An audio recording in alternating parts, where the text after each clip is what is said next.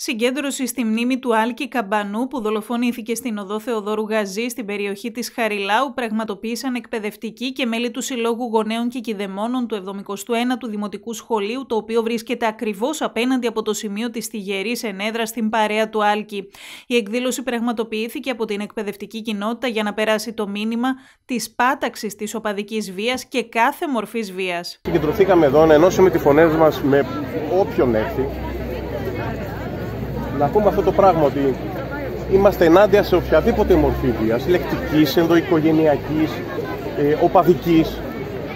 Αυτό το πράγμα πρέπει να σταματήσει κάπου. Τα παιδιά παρά τη μικρή τους ηλικία αντιλαμβάνονται τα πάντα και τάσσονται κατά της οπαδικής βίας σύμφωνα με τους εκπαιδευτικούς. Κάνουμε αυτή τη διαμαρτυρία για να φωνάξουμε ότι η βία οποιασδήποτε μορφής πρέπει να σταματήσει, ανέφερε ο αντιπρόεδρος του Συλλόγου Γονέων και Κηδεμόνων του ίδιου σχολείου Νίκος Καγιαλής.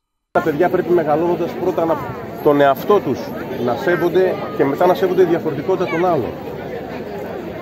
Η κοινωνία μας έκαιγε κάποια πράγματα κάτω από ένα χαλάκι και έγραφε πάνω το χαλάκι αυτό τι θα πει ο κόσμος; Ο κόσμος είμαστε εμείς. Ε, πω πω ντροπή, μην το πεις. Ντροπή είναι να ξέρεις κάτι και να μην μιλάς. Ο μουσικοσυνθέτης και στιχουργός Περικλής Μαυρίδης, θέλοντας να αποτίσει φόρο τιμή στον αδικοχαμένο Άλκη Καμπανό, έγραψε το τραγούδι του Άλκη με τίτλο «Ήταν ένα παιδί». Στους συγκινητικούς στίχους του τραγουδιού, το οποίο ερμήνευσε με την κιθάρα του ο νεαρός καλλιτέχνης Παντελής Λατίντσης, ο στιχουργός έγραψε «Ήταν ένα παιδί μόλις τα 19 του. Ήταν ένα παιδί με τη ζωή μπροστά του». Την παραγωγή του τραγουδιού ανέλαβε η Άμ και Αντικρίση.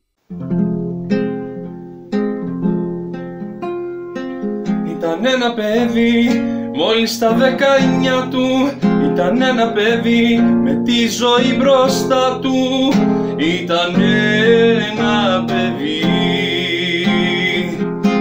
Μέσα νυχτά και κάτι σκοτώσανε τον Αλκή Ξεψύχησε σε μια άκρη